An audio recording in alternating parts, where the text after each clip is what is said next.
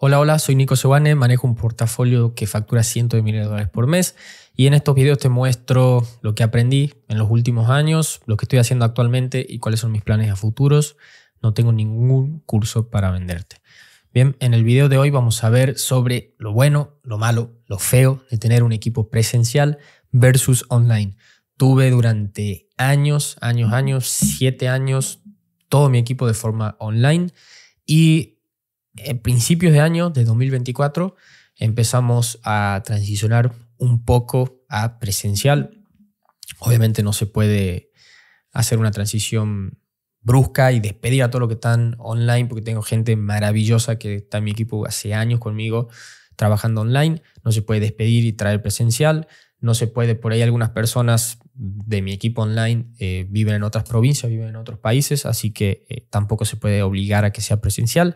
Pero bueno, vamos a ir haciendo esa transición y en este video te quiero mostrar eh, lo malo, lo bueno, cuál es mi veredicto final, si prefiero online, si prefiero presencial, como para que, nada, la verdad que cuando me estaba planteando, primero que nada, hace dos años, tres años, o dos o tres años, no me acuerdo, cuando me estaba planteando si mudarme, si alquilarme una oficina para dejar de trabajar desde mi casa, por más de que tenía una oficina montada en mi casa y demás, eh, tener que agarrar el auto, la camioneta y ir a otro lado.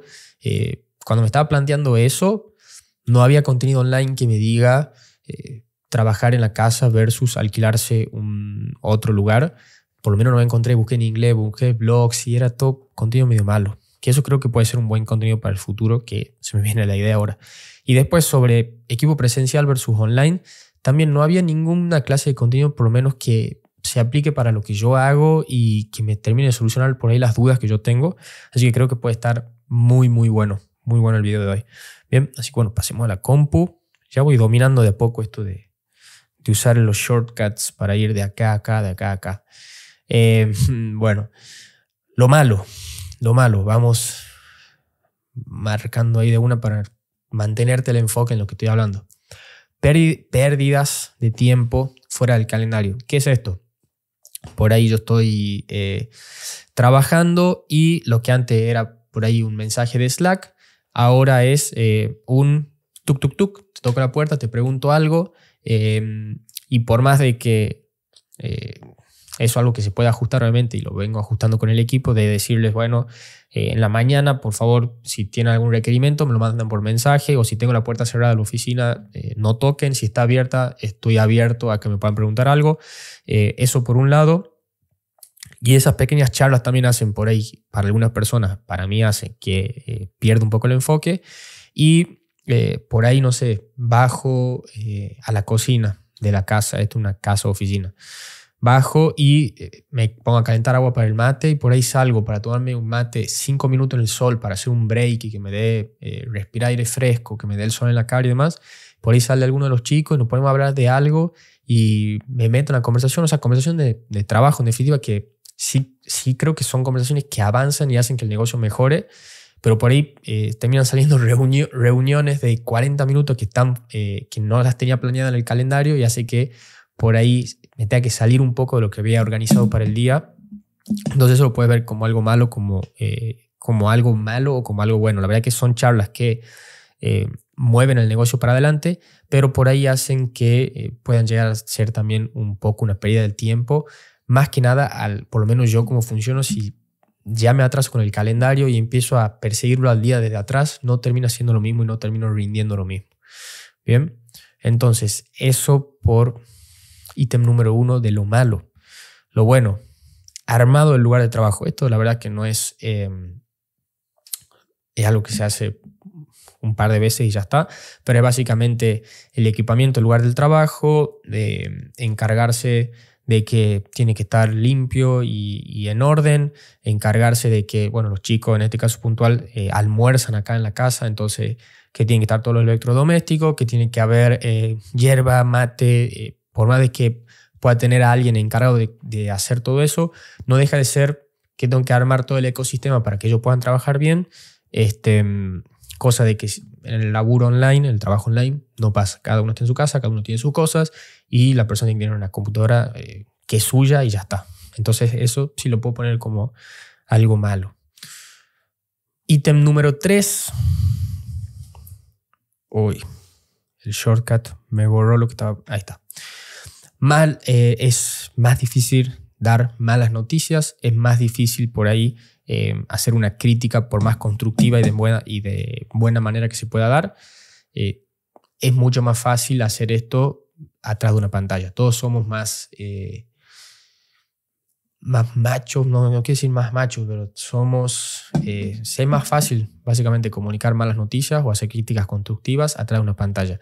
Es más fácil hacerlo en una videollamada que presencial y es más fácil hacerlo vía texto que eh, en una llamada, si lo podemos poner como escalada, eh, de forma escalada, y es por eso también que los haters solo dejan comentarios malos vía, eh, vía texto, se animan a eso nomás. Em, pero bueno, igual, si tienen que dar alguna, despedir a alguien o lo que sea, no lo hagan, no lo hagan con texto, sean un poquito mejor, creo yo, creo yo. Este, pero bueno, en definitiva es más, más difícil dar malas noticias, es más difícil decir, eh, estos últimos tres días eh, creo que el rendimiento no fue el mejor, qué pasó acá, qué pasó allá.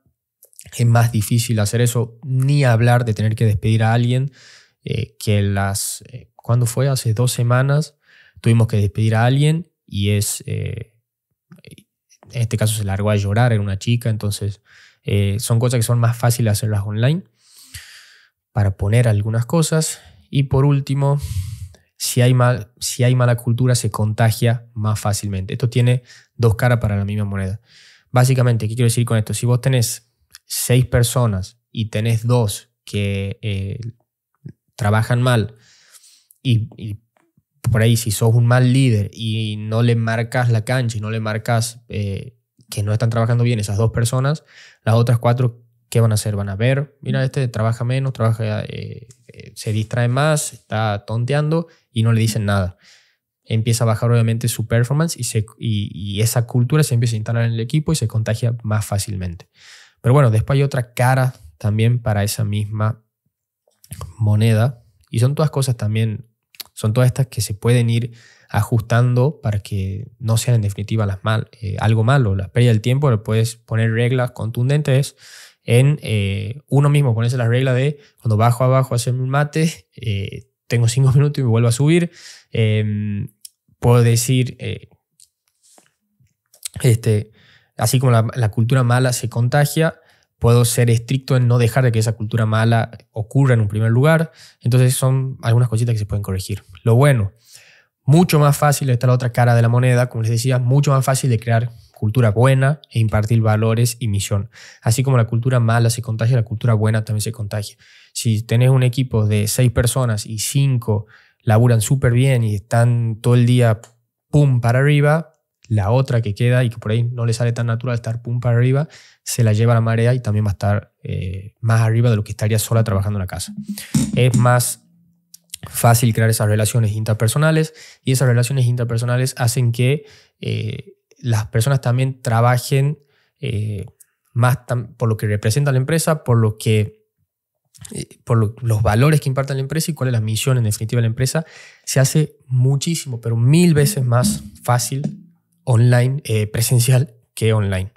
Bien, igual no tengo ni un año en esto, o sea, eso, estas son mis observaciones en los primeros seis meses. Las relaciones con el equipo de trabajo es mucho menos transaccional, online es mucho más bueno, me pagas, hago esta tarea puntual y ya está. Entonces, por más de que estos son, son generalizaciones lo que estoy haciendo, obviamente hay excepciones y hay casos en los cuales no es así y hay empresas que son 100% online y tienen una cultura buenísima y hay empresas que son 100% presencial y tienen una cultura malísima. Acá estoy hablando mis observaciones de lo que yo veo en la generalidad y cuál fue mi experiencia personal. Eh, no quiere decir que aplique para todo, pero siento que es una relación mucho menos transaccional y es como, estamos empujando todo para el mismo lado, no es tanto, bueno, me pagas tanto y yo te hago esta tarea puntual, ya está como más modo freelancer, si podría. Bien, veamos otro ítem. Pucha, todo esto se escribió. Bien. Mayor facilidad de idear cosas nuevas o mejorar sobre lo anterior. Esto es gigante, es grandísima, es grandísima. En esas charlas que son pérdidas de tiempo, salen cosas, salen ideas, se mejora sobre lo anterior, de forma que online demora mucho más tiempo, simplemente porque online es, bueno, nos juntemos, nos reunamos los miércoles a las 3 a ver este tema puntual. Y se ve ese tema, se soluciona, todo genial y ahí queda. Sí puede haber un poquito de interacción vía Slack, vía mensaje, lo que el método que uses para comunicarte con tu equipo, pero no es lo mismo, no es lo mismo. Igual los almuerzos, los almuerzos, eh, si almorzas con tu equipo, ese tiempo que estarías perdiéndolo, almorzándolo solo, viendo eh, partido de fútbol o Luzu TV o lo que sea, lo pasas hablando con tu equipo y, y terminan siendo en definitiva reuniones buenísimas que salen un montón de ideas nuevas, salen un montón de ideas nuevas. Entonces, eso está muy bueno, eso está muy bueno de presencial que no hay tanto online. Cuarto, comunicación constante y fluida entre compañeros. Hay por ahí pocas cosas que me gustan eh, eh, tanto que eh, bajar abajo donde están los, el resto de los chicos y ver que están, hay dos o hay tres viendo la misma pantalla de la computadora y opinando y señalando y qué, opinas si cambiamos acá, qué opinas si cambiamos allá, sin ser uno el que tiene que congeniar esa interacción, que por ahí online también es más difícil que esas cosas ocurran de forma espontánea, ¿bien? Entonces eso está buenísimo, buenísimo, buenísimo, buenísimo. Y después lo que está muy bueno es generar competencia interna y que haya no, sé si decirlo una pelea, pero de que eh, también el equipo empieza a valorar más su estatus dentro del grupo eh, y no únicamente el dinero, cosa que online también es más difícil de, lograr. Si vos tenés un equipo de trabajo y a uno le lo felicitas de forma pública y le decís, bueno, lo quiero felicitar a este porque la verdad que esta semana la rompió y con esta idea que implementó logramos conseguir esto. Y todos los humanos, yo creo que nadie es exento de esto, eh, en menor o mayor medida nos importa el estatus de en el grupo en el cual nosotros estamos. Entonces, que se pueda generar esa competencia interna, de que se pueda generar ese estatus dentro del grupo, también hacen de que se dé un plus trabajando que online por ahí no. Online puedes sí, puedes mandar un mensaje de Slack y felicito a este porque consiguió esto este mes o esta semana o lo que sea, y la gente reacciona con aplausito, con manitos, pero no es lo mismo. No es lo mismo. Y no digo únicamente felicitaciones, puede ser te ganaste tu eh, oficina privada en lugar de trabajar en el mesón, o te ganaste esto, te ganaste lo otro. Entonces, em, eso está tremendo. Eso está muy, muy, muy bueno. Estos son los ítems principales que yo siento que, em, este, que hacen a lo malo y a lo bueno únicamente trabajando seis meses con el equipo de forma presencial. Este, em, obviamente después voy a tener otras cosas más. Bien, mi veredicto es mil por ciento mejor presencial, pero tengo un grandísimo asterisco, que es que no hace falta que todos sean presenciales. Por eso yo tengo una persona que se encarga pura y exclusivamente a eh, clipearme videos de YouTube, nada más, por ahí no hace falta que esté presencial. Por ahí no hace falta que esté presencial. Yo creo que por ahí son los roles más fundamentales de la empresa los que em, se le saca mayor jugo a ese trabajo de forma presencial. Y además, eh, a medida que vas creciendo también, em, obviamente hay una cuestión logística de espacio y demás que se va haciendo más complicado si tenés 50, si tenés 100, si tenés 200 empleados.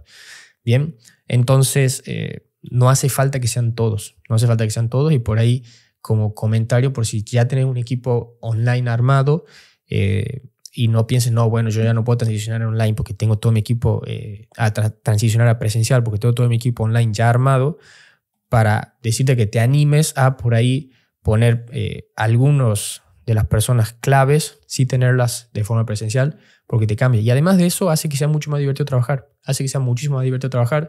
Los humanos, eh, por lo menos yo soy súper introvertido. Yo puedo estar un almuerzo entero una reunión de familia y, estoy con mi cabeza pensando en otra cosa y no hablo, o sea, no, no tengo necesidad de hablar. Y por más yo de que tengo una personalidad súper, súper introvertida, eh, relacionarme con gente en el día a día así que sea mucho más divertido y mucho más llevadero.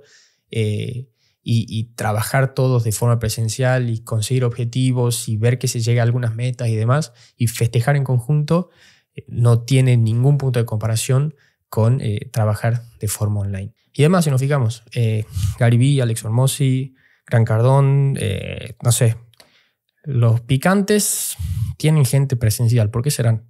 ¿Qué sabrán ellos que no sabemos nosotros? Así que bueno, nos vemos en la próxima video, clase, lo que sea. Un abrazo grande. Chau, chau.